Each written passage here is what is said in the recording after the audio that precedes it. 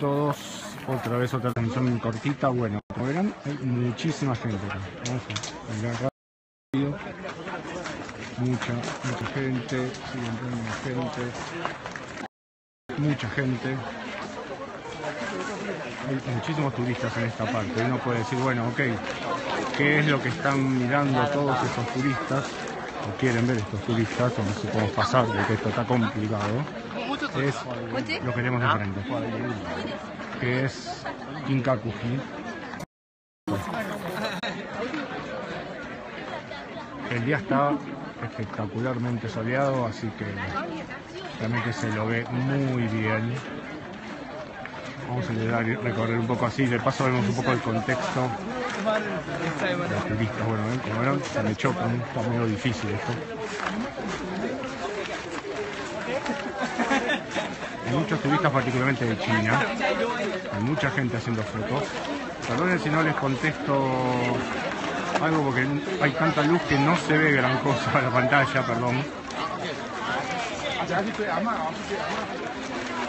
Pero ahí delante tienen de vuelta el, el palacio. Es realmente muy bello. Hola, no sé qué me está dando, me está saludando, pero perdón, no veo. Hay mucho. Transmisión no está muy buena porque hay muchísimos turistas acá y de, de esta Bueno, yo quería perder la oportunidad de mostrarles un poco el lugar que queda registrado.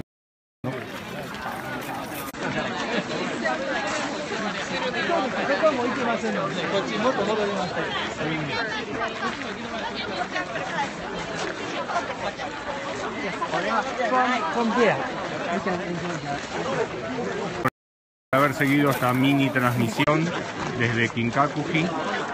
Eh, ah, eh, me olvidé de comentarlo rápidamente. Desde nosotros nos vinimos de acá, desde el bosque de bambú, de Arashiyama. Arashiyama.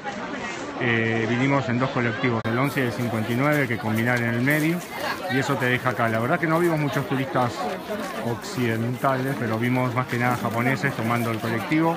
La verdad es bastante fácil hacerlo, simplemente tienen que chequear en Google Maps y, y arreglárselas un poco. Bueno, ven, como verán, hay muchos paraguas. Esto es bastante difícil. Les agradezco mucho haber estado ahí estos minutitos y seguimos acá sacando fotos y disfrutando del día. Gracias.